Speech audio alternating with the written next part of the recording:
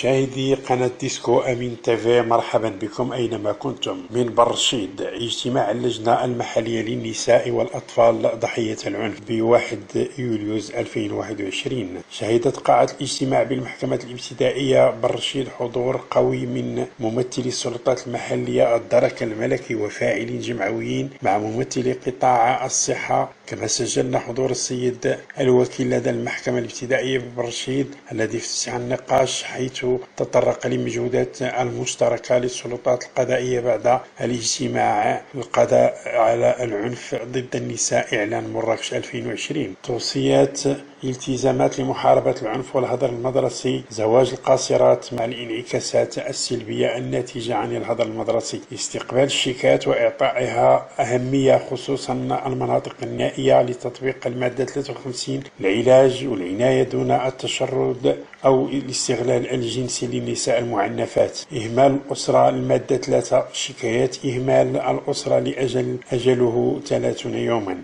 إذا حصل امتناع أو غياب يطبق البحث عنه وحرمانه من أي طلب. وتطرق السيد الوكيل للملك وإعطاء لائحة القضايا لإهمال الأسرة إلى الضابطة القضائية والإدلاء بها إلى السيد الوكيل في حالة الاستعجال. تسجيل غياب تام بالمدينة دور الإيواء للنساء المعنفات والأطفال المتشردين. بعد ذلك غادر السيد الوكيل القاعة وتبع النقاش مع الحضور لتدخلات وحوارات منها ما نستمع إليه من السيدة رئيسة مركز حقوق الناس ببرشيد بعد الفاصل.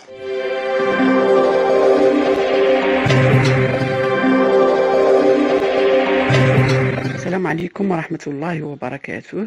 معكم الأخت فيطوط رشيدة آه، رئيسة مركز حقوق الناس ببرشيد آه، وجمعية بسمة الدولية للعناية بذوي الإعاقة وصحفية.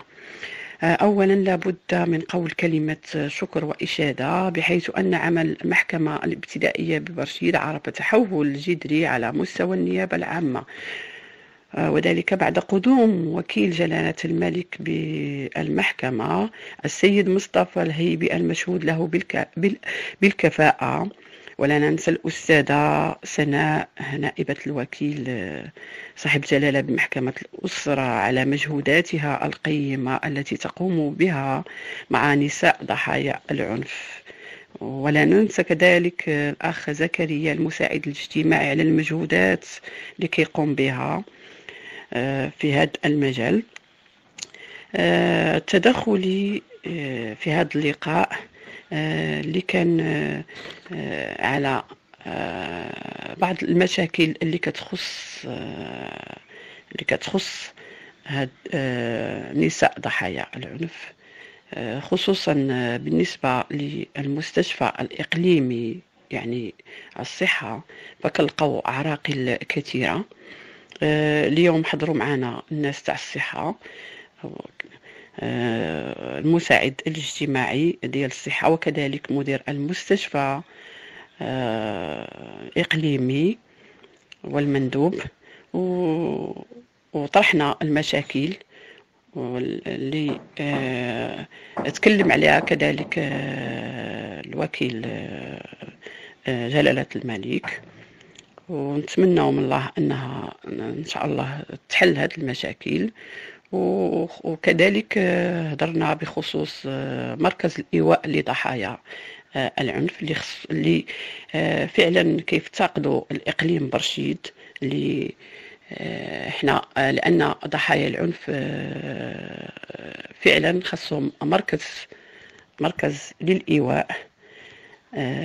المهم هاد اللقاء. خرجنا بالتوصيات.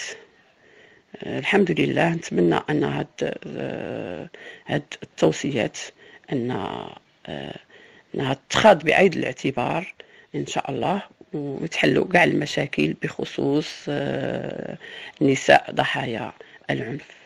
وشكرا.